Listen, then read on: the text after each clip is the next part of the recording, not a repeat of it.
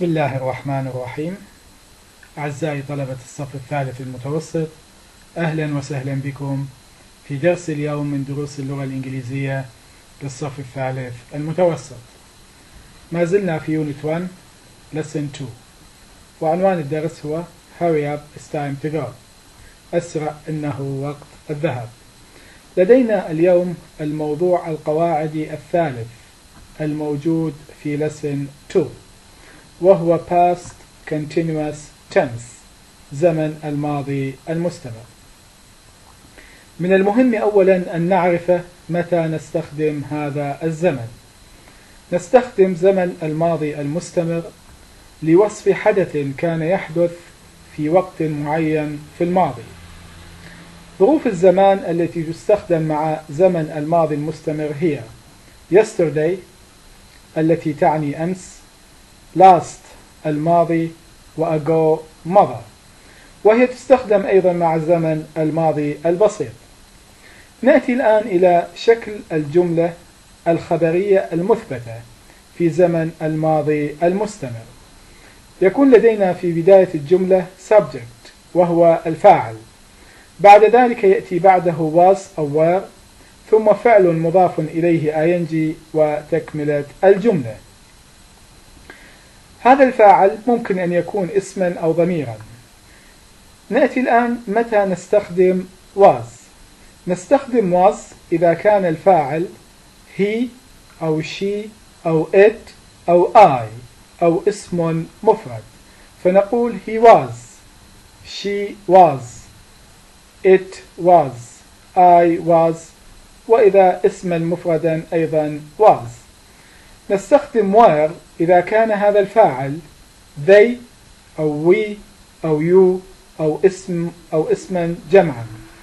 نقول they were we were you were وإذا كان اسم جمع أيضا نستخدم were. ثم يكون لدينا كما قلنا فعل مضاف إليه ing. ولمعرفة كيفية إضافة ing إلى الفعل آه، ارجعوا أعزائي الطلبة إلى الدرس السابق وهو آه، present continuous tense زمن المضارع المستمر حيث أن هناك بعض الملاحظات على كيفية إضافة ing إلى الفعل. ثم يكون لدينا كما قلنا تكملة الجملة. لنأخذ بعض الأمثلة. المثال الأول he was wearing his white uh, sorry he was wearing his white trainers yesterday morning. هو كان يرتدي أحذيته الرياضية البيضاء. أمس صباحا. هذه الجملة هي جملة في زمن الماضي المستمر. الفاعل هو هي لذلك استخدمنا was ثم لدينا الفعل were مضافا إليه ing وتكملة الجملة. Number two مثال آخر. I was talking to my brother an hour ago. كنت أتحدث إلى أخي منذ ساعة مضت وهذه الجملة أيضا في زمن الماضي المستمر لدينا الفاعل I لذلك استخدمنا was ثم الفعل talk مضافا إليه ing وتكملة الجملة. المثال الثالث We were doing our homework last night. كنا نؤدي واجبنا البيتي الليلة الماضية. هنا الفاعل we وقد استخدمنا were لأن الوي تأخذ were كما قلنا ثم الفعل do مضافا إليه ing وتكملة الجملة. نأتي الآن كيف ننفي الجملة في زمن الماضي المستمر. لكي ننفي الجملة في زمن الماضي المستمر فإننا نضع كلمة not بعد ال was وال were فتصبح was not أو were not ويمكن أن تختصر wasn't و weren't. مثال They were not watching a movie last night. هم لم يكونوا يشاهدوا فيلما سينمائيا الليلة الماضية. هنا لدينا جملة في زمن الماضي المستمر منفية. كيف نفينا الجملة؟ وضعنا كلمة not بعد were وكما قلنا يمكن أن تكتب were not أو يمكن أن تختصر فتكتب بهكذا طريقة نقول weren't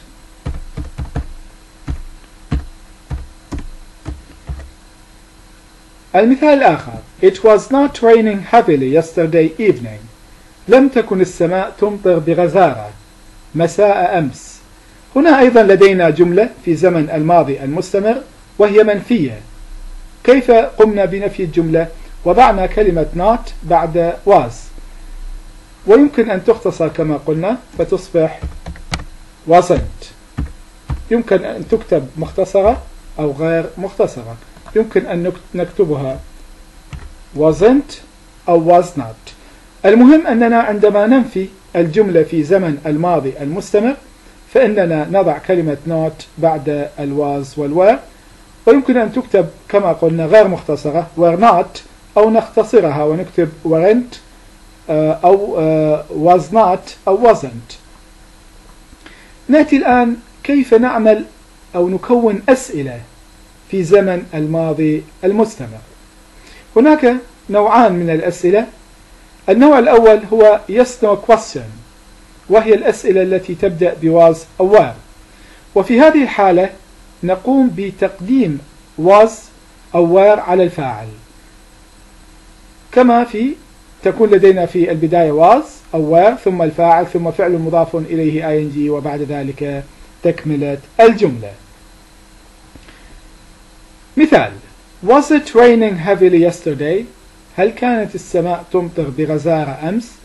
هنا لدينا جملة في زمن الماضي المستمر في حالة الاستفهام كيف عملنا أو كونا السؤال قدمنا الفعل was على الفاعل it فأصبحت was it raining heavily yesterday هل كانت السماء تمطر بغزارة أمس الجواب يمكن أن يكون yes it was. نعم إنها كانت. No it wasn't كلا إنها لم تكن. مثال آخر. Were you looking for your shoes for 20 minutes هل كنت تبحث عن أحذيتك لعشرين دقيقة؟ هنا أيضا جملة في زمن الماضي المستمر في حالة الاستفهام. كيف كونا سؤال في زمن الماضي المستمر؟ قدمنا الفعل were على الفاعل you. الإجابة يمكن أن تكون yes I was أو no I wasn't. هذا النوع كما قلنا من الأسئلة يسمى yes no questions. لماذا؟ لأن الإجابة عليه تكون أما بيس أو بنو أما تكون الإجابة كما قلنا بيس أو بنو والإجابة تسمى short answers أجوبة قصيرة. ملاحظة مهمة في الإجابة في, في الأجوبة القصيرة يجب أن يكون الفاعل دائما ضمير ولا يمكن أن يكون اسما. أي يجب أن يكون الفاعل أما هي أو she أو it أو they أو we أو you أو I ننتقل الآن إلى النوع الآخر من الأسئلة وهي الأسئلة التي تبدأ بأداة استفهام والتي تسمى WH questions. فيها يكون شكل السؤال كالآتي. يكون لدينا في البداية أداة الاستفهام. بعد ذلك يكون لدينا was أو were ثم الفاعل ثم فعل مضاف إليه ing وبعد ذلك تكملة الجملة. كما في الأمثلة What were you queuing for من لأجل أي شيء كنت تقف في الطابور. هنا لدينا أداة الاستفهام what وبعد ذلك كما قلنا أداة الاستفهام تأتي في البداية. بعد ذلك was أو were هنا استخدمنا were لماذا؟ لأن الفاعل you الفاعل you بعد ذلك فعل مضاف إليه ing كما في القاعدة فعل مضاف إليه ing ثم تكملة الجملة و question mark. مثال آخر. Where was he reading last night? أين كان يقرأ الليلة الماضية؟ أيضا هنا لدينا جملة استفهامية في زمن الماضي المستمر. لدينا في البداية أداة الاستفهام كما قلنا أداة الاستفهام. بعد ذلك was أو were هنا استخدمنا was لماذا؟ لأن الفاعل هي ثم فعل مضاف إليه ing وبعد ذلك تكملة الجملة. هذا هو زمن الماضي المستمر past continuous tense. لدينا هنا واجب بيتي. نتمنى آه، أن تستطيعوا أن تؤدوا هذا الواجب البيتي بشكل صحيح. الجملة الأولى لدينا الفاعل ولدينا فعل ولدينا تكملة. ما هو المطلوب منا؟ Past continuous. المطلوب منا أن نكون جملة في زمن الماضي المستمر. الجملة الثانية لدينا جملة في أو المثال الثاني لدينا جملة في زمن الماضي المستمر. المطلوب منا أن ننفي هذه الجملة. نيجاتيف النقطة الثالثة المطلوب منا أن نختار أما was أو were. ماذا يقول؟ Choose اختار أما was أو were النقطة الرابعة هنا لدينا جملة آه، مرتبة بشكل غير صحيح. المطلوب منا أن نرتبها بترتيب صحيح. ماذا يقول لنا في السؤال؟ put in order ضع في الترتيب الصحيح. النقطة الخامسة لدينا أيضا جملة في زمن الماضي المستمر. They were waiting in a queue. المطلوب منا أن نعمل سؤال من هذه الجملة. ما هو المطلوب منكم أعزائي الطلبة في الدرس القادم؟ تحضير هذا الدرس كما كما كما هي العادة كتابة الدرس في دفتر الملاحظات وحل الواجب البيتي في دفتر الملاحظات. هنالك بعض التمارين الموجودة في كتاب التمارين. على موضوع ال past continuous وكذلك ال present continuous.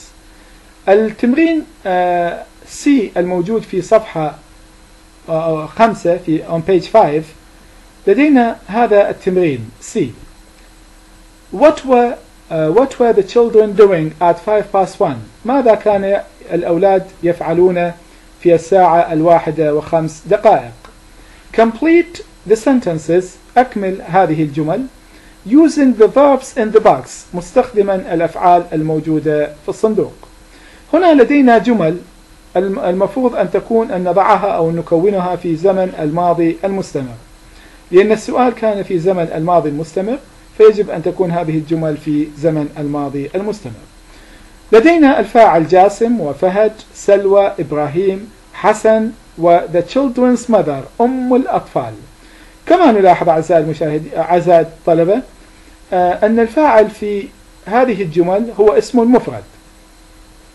لدينا هنا أفعال المطلوب منا أن نملأ هذه الفراغات بأحد هذه الأفعال نعتمد في ذلك على المعنى وأن تكون الجملة في زمن الماضي المستمر.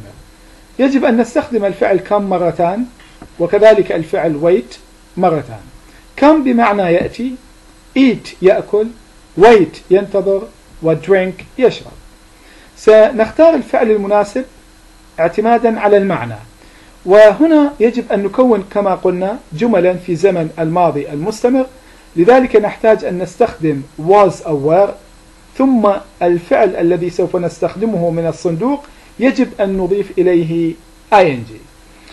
number uh, 1 جاسم a burger. جاسم uh, burger. uh, طبعا سنستخدم الفعل eat لأن البرجر شيء يؤكل. وبما أن جاسم اسم مفرد سنستخدم was ثم نضيف ing إلى الفعل eat. فتصبح جاسم was eating a burger. جاسم كان يأكل البرجر. فهد أكولا. سوف نستخدم drink لأن المعنى يتطلب كولا لوجود كولا. سوف نستخدم drink لأن المعنى يتطلب ذلك. وبما أن فهد اسم مفرد سوف نستخدم was. ونضيف ing إلى الفعل drink تصبح drinking. فتصبح الجملة فهد was drinking a cola. سلوى in a queue في طابور. سوف نستخدم الفعل wait بمعنى تنتظر. وبما أن سلوى اسم مفرد إذا سنستخدم الفعل المساعد was. سنقول سلوى was waiting نضيف ing إلى الفعل wait. سلوى was waiting in a queue. سلوى كانت تنتظر في الطابور. إبراهيم داون in the lift ينزل من المصعد أو أسفل المصعد. سوف نستخدم الفعل come وبما لأن المعنى يتطلب ذلك. وبما أن إبراهيم اسم مفرد إذا سوف نستخدم الفعل المساعد was ونضيف ing إلى الفعل come هنا الفعل come ينتهي بحرف إي صامت. سوف نحذف الإي ونضيف ing فتصبح الجملة إبراهيم was coming down in the lift. إبراهيم كان ينزل إلى أسفل المصعد. حسن فراغ down the stairs أسفل السلالم. أيضا سوف نستخدم الفعل come لأن المعنى يتطلب ذلك. وبما أنه حسن اسم المفرد إذا سوف نستخدم was. ونضيف ing إلى كم نحذف الإي فتصبح حسن was coming down the stairs. حسن كان ينزل من السلالم. The children's mother أم الأطفال. هنا الفاعل مفرد. سوف نستخدم was. At the information desk. في مكتب المعلومات. سوف نستخدم الفعل wait لأن المعنى يتطلب ذلك. وبما أن the children's mother اسم المفرد سوف نستخدم was. فنقول the children's mother was ونضيف ing إلى الفعل wait. The children's mother was waiting at the information desk. أم الأطفال كانت تنتظر في مكتب المعلومات أو الاستعلامات هناك تمرين آخر على هذا الموضوع. الباست continuous وأيضا present continuous. موجود في صفحة 19 من كتاب التمارين لنذهب إلى صفحة 19 page 19 on page 19 sorry on page 19 still uh, 17 18 19 uh, التمرين C الموجود on page 19 كما قلنا هنا uh, complete the sentences أكمل الجمل Five boys were late for school خمسة أطفال أولادا عفوا خمسة أولاد كانوا متأخرين عن المدرسة Why were they late لماذا كانوا متأخرين؟ What were they doing? ماذا كانوا يفعلون؟ هنا السؤال في زمن الماضي المستمر. لذلك يجب أن تكون الإجابة في زمن الماضي المستمر. إذا علينا أن نكون جملا في زمن الماضي المستمر. لدينا الفاعل في جميع الجمل هو was. إذا سوف نستخدم في جميع الجمل الفعل المساعد. عفوا لدينا الفاعل في جميع الجمل هو I. لذلك سوف نستخدم الفعل المساعد was فنقول I was I was okay? ثم نأتي بفعل من هذه الأفعال الموجودة في الباكس وحسب المعنى طبعا اعتمادا على معنى الجملة ونضيف إليه ing ونكمل الجملة. phone بمعنى يخابر wait كما قلنا ينتظر listen to يصغي إلى look for يبحث عن وplay يلعب. I was for my brother. سوف نستخدم الفعل wait. I was waiting for my brother سوف نستخدم was لأن الفاعل I ثم نضيف ing إلى الفعل wait فتصبح I was waiting for my brother number two I was أيضا كما قلنا I was the radio and I didn't know the time سوف نستخدم الفعل listen to ونضيف ing إلى الفعل listen فتصبح I was listening to the radio and I didn't know the time أنا كنت أصغي إلى الراديو ولم أعرف أو ولم أعلم بالوقت number three I فراغ on my computer and I didn't hear the taxi come سوف نستخدم play بمعنى يلعب فتصبح I was playing أنا كنت ألعب on my computer في حاسوبي and I didn't hear the taxi come ولم أسمع التاكسي عندما أتى Number four I فراغ my shoes for 20 minutes. أنا سوف نستخدم الفعل. Look for يبحث عن. فتصبح I was looking for my shoes for 20 minutes. أنا كنت أبحث عن أحذيتي لعشرين دقيقة. I فراغ my mother in, in hospital. أنا فراغ أمي في المستشفى. فسوف نستخدم phone ونستخدم هنا was فتصبح I was نضيف ing إلى الفعل phone نحذف e الصامت ونضيف ing فتصبح الإجابة I was phoning my mother in hospital. أنا كنت أخابر أو أتصل بأمي في المستشفى. هذا التمرين الآخر عن يتحدث عن ال present continuous tense عن زمن المضارع عفوا المستمر. Five girls can't go out to the party. خمسة فتيات لن, لن لا يستطعن أن يذهبن إلى الحفلة. Why can't they go? لماذا لن يستطعن الذهاب أو لا يستطعن الذهاب إلى الحفلة؟ What are they doing? ماذا هن يفعلن الآن؟ هنا السؤال في زمن المضارع المستمر.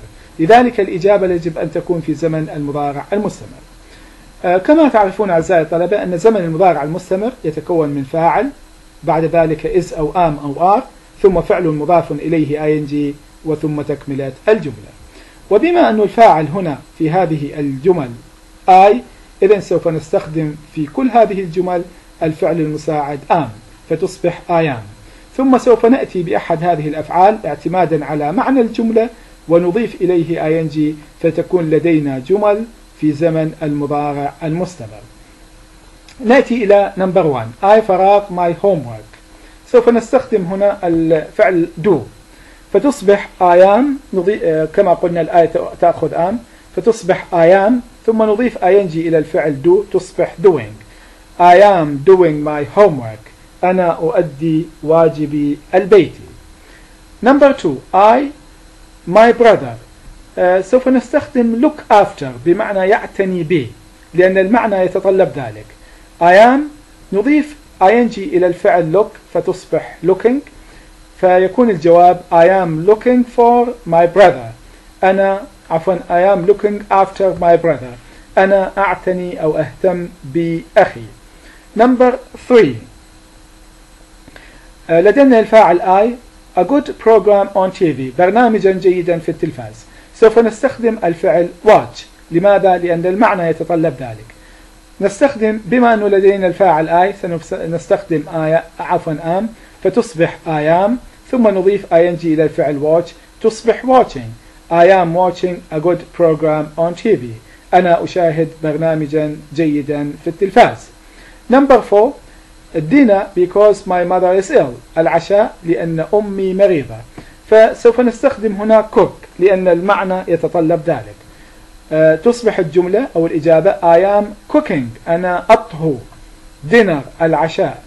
Because بسبب my mother is ill. لأن الفعل cook بمعنى يطهو الفعل look after بمعنى يعتني به do يعمل أو يؤدي paint يرسم وwatch يشاهد. كما قلنا الإجابة في السؤال في النقطة الرابعة تصبح I am cooking dinner أنا أطبخ العشاء أو أطهو العشاء because my mother is ill لأن أمي مريضة. الجملة الأخيرة سوف نستخدم الفعل paint بمعنى يرسم أه ونضيف إليه ing طبعا وبما أن الفاعل I إذا سوف نقول I am ثم painting أنا أرسم a picture صورة for the school competition من أجل المسابقة المدرسية. Uh, okay, dear students, now we come to the end of today's lesson. Uh, see you next lesson.